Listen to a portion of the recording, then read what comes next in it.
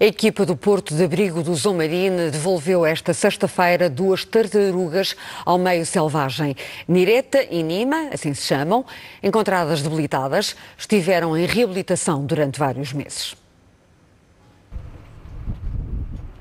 Nireta foi encontrada em julho do ano passado e Nima em outubro. Ambas apresentavam dificuldades e estiveram vários meses em reabilitação no porto de abrigo do Zumarine.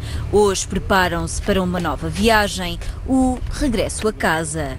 Uma uh, visitou-nos, chegou-nos com cerca de 8 quilos, partiu agora com 27, outra tinha 1,6 kg e hoje regressa ao mar já com mais de 7 quilos. Portanto, vão muito mais fortes, vão maiores, mais robustas e com uma segunda oportunidade de vida no selvagem. A costa de Portimão foi o local escolhido para a devolução, numa operação planeada ao pormenor, à qual a Marinha Portuguesa se volta a juntar.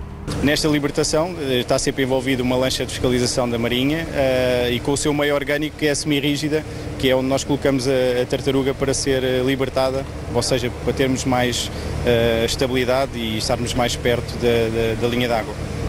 Resgatar, reabilitar e devolver ao meio natural continua a ser a grande missão e para que um dia mais tarde possam ser identificadas, ambas levam consigo um microchip na barbatana. Se um dia, por exemplo, voltarem a uma praia uh, de reprodução, no caso das fêmeas, os machos nunca o farão, mas as fêmeas sim, nós podemos ter alguma informação que nos permita perceber que realmente tudo funcionou e que se fechou o ciclo, que este animal volta a uma praia e que faz duas, três posturas com algumas dezenas ou centenas de ovos cada uma e que ajuda a fazer o repovoamento destas espécies que, como sabemos, são espécies ameaçadas de extinção. O futuro de Nireta e Nima continua a ser incerto, mas sabe-se que regressam a esta nova aventura com o peso e as energias renovadas.